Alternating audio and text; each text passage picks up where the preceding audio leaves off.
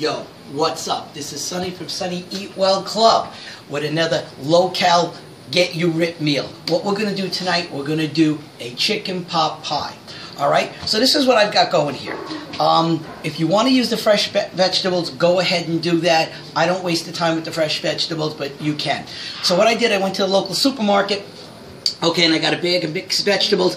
Okay, and uh, what I did is I I let them get room temperature, so uh, they're not frozen. I let them once they're room temperature. I've got two tablespoons, three tablespoons of grapeseed oil in here, heating up. And remember, I said grapeseed oil don't break down the trans fat. So okay, different types of mixed vegetables you can get frozen. This happened. I liked it because it had uh, string beans in it, it had onions in it, carrots in it. Um, so I cut up some fresh mushrooms in there, cauliflower it's got some zucchini in there.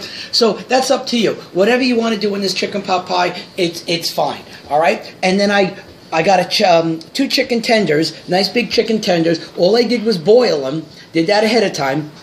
All right, and cut it up. So I've got this heating up a little bit like this. Okay, and what we're going to do is going to take this mixture right here, and we're going to throw it right in.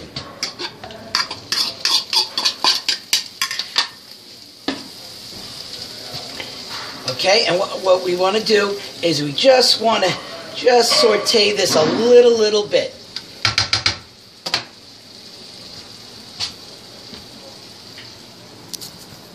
Go.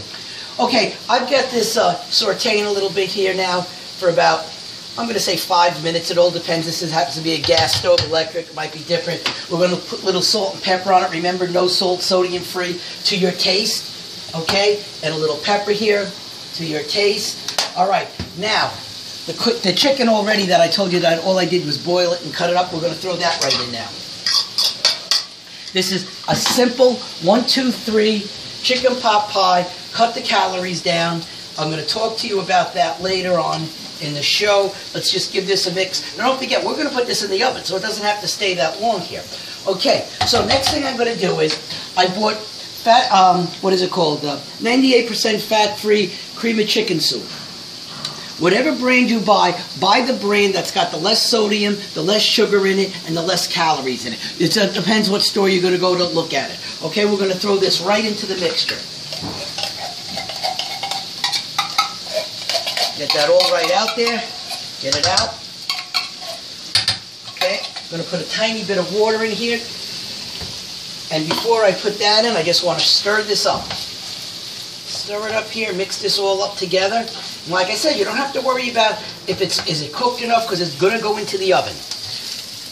Let's do this here nicely here like this. Get it all mixed up. I wish you could smell how, how good this is. And wait till you find out the difference in the um, calories. Okay, so we're going to let that cook a little bit more. I'm going to put a little bit of the water in to get the rest of this out, stir it up here. Like I said, it's going to go in the oven, so don't worry. Is it cooked enough? It's not. It's fine. It's fine. Okay. So, I'm going to shut that off. All right. Put this over there a minute. Move this here.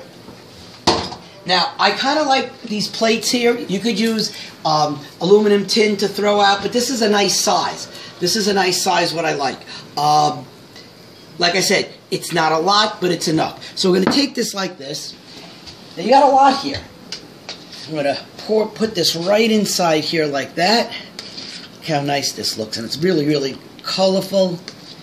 Really great. Now, if you make a lot of this, you can make two of these. You could freeze it. Okay? For the show here, I just made enough for, for one.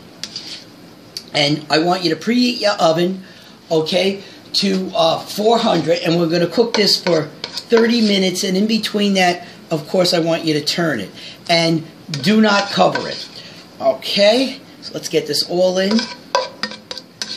Now, that looks good there.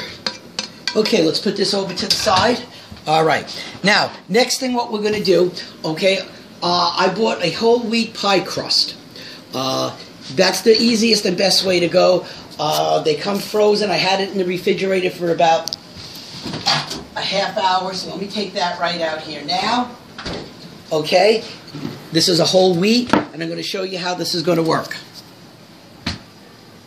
Okay, so what I did, I turned this over. Okay, now what we're going to do, my hands have been washed, they're nice and clean. You're going to get a couple little cracks in it, that's okay. And we want to take our knife and just trim this. Doesn't have to be perfect because it's going to go in the oven. Take your knife, cut the ends of it off here. We'll put this over to the side. And like I said, if you're going to do two of them, okay, you, you, you, might need this. Now, let's say you have a little piece like this and you really wanted to make it look nice. You, you take a little about this and you can go like this, put it on. But we don't have to. I'm going to take my fork, put around the edges like this, turn it around. My oven has been preheated. Okay, now, very important too, my hands, like I told you, have been washed. We've got this on here like this. I want to take a little of egg and do a little bit of an egg wash on here like, like so. Could use a brush. Like I said, I wash my hands. They're clean. This is a faster, faster way of doing it. Okay, so I'm going to put this over to the side. I got my tray over here. And don't forget, when you take this out of the oven, make sure you use pot holders. Let's put this in. Okay, and we'll let this cook. All right, I've turned that already. Okay, like I said, for 30 minutes, it's got to go in there. I waited about 15 minutes and gave it a little turn, and don't forget, do not cover it. All right, now I'm going to take this out. Make sure you use your pot, your pot, your, your pot holders. All right, so I'm going to take this out of the oven. Make sure you use your pot holders. It's going to be hot. Let's be real careful with this. Okay, take this out like this. I'm going to talk about this. Put this over to the side. All right, now brand that you see all over the stores, Banquet, Swanson, whatever it might be, Mrs. Paul's, Mrs. Smith, whatever it is. I'm not saying they're not good, but I'm saying they're high in calories. So let's take this Banquet chicken pie. All right, this pie comes into 350 calories. All right, now look at the size of this with the vegetables, with the um, whole wheat bread um, pie crust um, with the chicken soup, the cream of chicken soup. Okay, this whole thing only comes into 165 calories. So I want to get a spoon. I want to show you what this looks like. And we'll open this up, and just so you could see. Now don't forget, there's going to be a little hot. But here, here it is. Look, look at this. We've got our nice homemade chicken pot pie. And don't make a mess like I did. Okay, that's low in calories. Tastes good, is good, a meal that's going to make you feel good for the winter, comfort food, and you're going to love it. Remember, like, comment, and subscribe. I'm the real deal when it comes to weight loss meals. Remember, like, comment, and subscribe.